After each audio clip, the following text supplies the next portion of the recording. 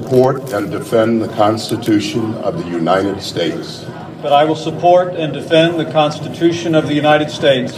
Against all enemies, foreign and domestic, against all enemies, foreign and domestic, that I will bear true faith and allegiance to the same, that I will bear true faith and allegiance to the same, that I take this obligation freely.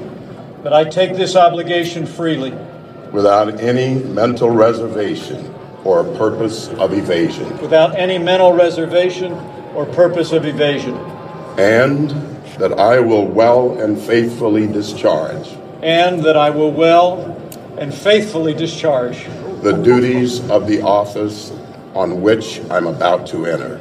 the duties of the office on which I am about to enter. I don't know. So What did I help me? God. So help me God. Congratulations.